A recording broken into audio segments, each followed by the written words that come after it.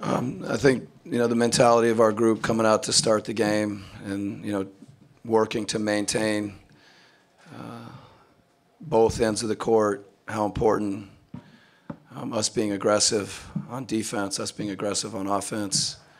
Um, we've got to find a way to do that for more of the 48 minutes.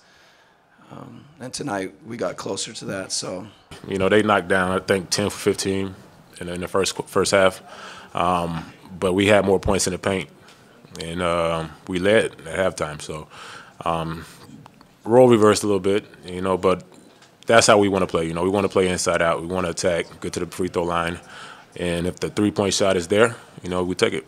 For whatever reason, um, we weren't mentally, physically and effort wise, we were perfect, but mentally we weren't into what our we were we were trying to accomplish defensively in the first half.